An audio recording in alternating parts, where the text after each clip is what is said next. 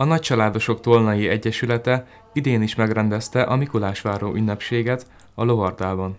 A szervezet tagjai számára színházi előadással készültek a szervezők. Minden évben hatalmas várakozással telik, hogy elérkezzen hozzánk a fehér nagyszakálú Mikulás. Az Egyesületünkben több nagyobb program van. Úgy gondolom, hogy a Mikulás ünnepségünk is egy olyan nagyszabású ünnepély, ahova rengeteg embert meg tudunk mozgatni az Egyesületünk tagságai közül.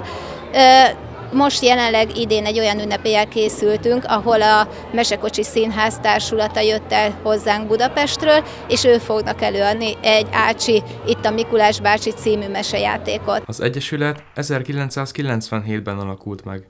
Jelenleg 66, elsősorban három vagy több gyermekes családban jelent tagként a szervezetben.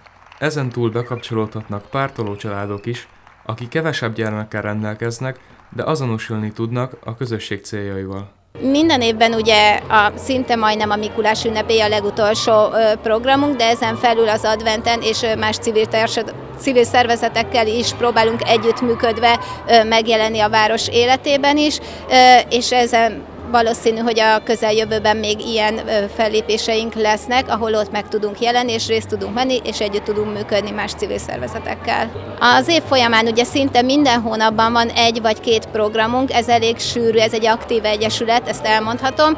Mindenféle korosztályt próbálunk megmozgatni, mind a legkisebbeket, mint a legidősebbeket, úgy ez teljesen körülöleli át ezt az egész szervezetet, de úgy gondolom, hogy, hogy ők ezt számunkra meghálálják, teljes nagy az érdeklődési kör, az aktivitás az Egyesületben, és maga a család az, ami azt a szeretetet adja és erőt, ami, amit remélem most is meg fog valósulni.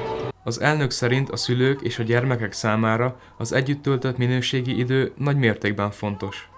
Én úgy gondolom, hogy most talán az Egyesületünk életében az a legfontosabb, hogy a család nem otthon legyen, csak a számítógép és a gyermek a tablet előtt üljön, hanem a minőségi idő, a szabadidő hasznos eltöltése történjen úgy együtt, hogy ez a minőségi idő megteremtődjön a családban. Mindenkit arra kérek, kinyithatjátok a szemeteket, csináljátok azt, amikor nagyon-nagyon fáztok Dörzsöljétek jól össze a kis mancsotokat.